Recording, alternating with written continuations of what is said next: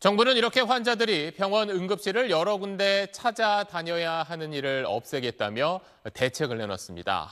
비교적 증상이 가벼운 환자가 응급센터를 찾는 경우 본인 부담금을 90%까지 올리겠다고 했는데 자, 이게 과연 얼마나 실효성이 있을지 조동찬 의학 전문 기자가 짚어봤습니다. 경기도의 한 지역 응급의료 센터입니다.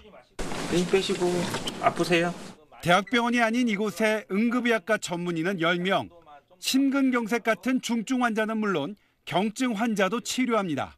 심근경색이라든지 뭐 뇌졸중이라든지 그거보다 약간 뭐 낮은 것들은 다 저희 병원 같은 병상 20개 가운데 절반은 대체로 비어있는 터라 이런 진료가 가능합니다.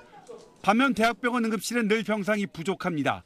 중증 환자 치료에도 허덕이는데 경증 환자 비율이 40%나 됩니다. 정부는 경증 환자가 대학병원 응급실에 찾으면 본인 부담금 비율을 90%까지 올리는 방안을 대책으로 내놨습니다.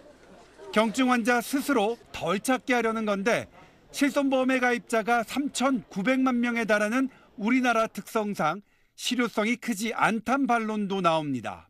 실손보험에서 거의 지원을 다 해주다 보니까 이게 50%든 뭐 90%든 퍼센티지가 높아진다고 해서 본인의 부담이 늘어나지 않는 거죠.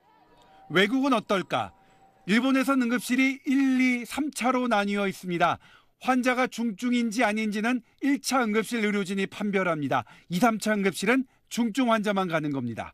미국은 휴일과 야간에 경증 환자를 위한 긴급 진료소를 따로 운영하고 응급실은 중증 환자 위주로 운영되게 합니다.